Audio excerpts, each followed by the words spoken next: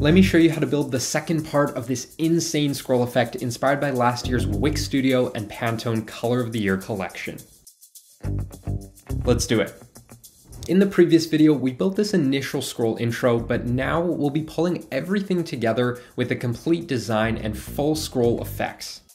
Just a reminder, we will need advanced sizing, so hop into the top right menu, go to View, Sizing Preferences, and Advanced. Now, let's go ahead and put together the containers that are gonna stay locked in place as we scroll down. To start, let's set up our title heading by adding a container to our section, docking it to the top, and adjusting the dimensions a little bit. Importantly, also set it to be sticky to the top and uncheck keep in front. Then simply add some text to it and stack it, and I'll add a big neon menu button in the corner. Then it's a pretty similar setup for the bottom container too. Add another container to the section and same dimensions too. But this will dock to the top with 80 view height and set the position sticky with also 80 view height offset, and then go ahead and uncheck this. Then for the layout, we're gonna need a two by one with the left column being one FR and the right as 256 pixels. Then I'm gonna add a stack with a few elements on the left and some text and a line on the right, and then one more line right across the top. Then last but not least, I'm gonna click into our very innermost center container and duplicate it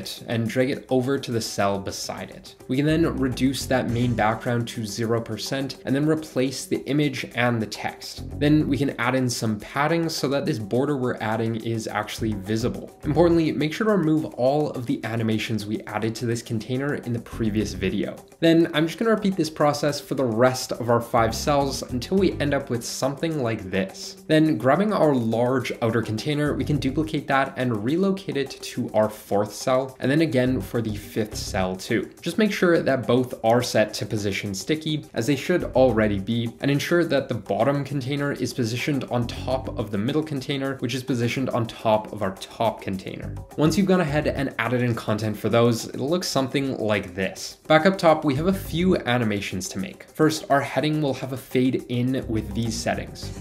And then our bottom will have a very similar fade in with slightly different settings. The four containers around the center will all have move in animations, with the ones on the left moving at 90 degrees and the close ones moving 20 view width, with the far ones moving 40 view width.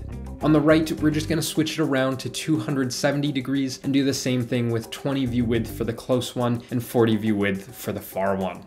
And there we go, a super modern animation that will work for pretty much any sort of e-commerce or product website.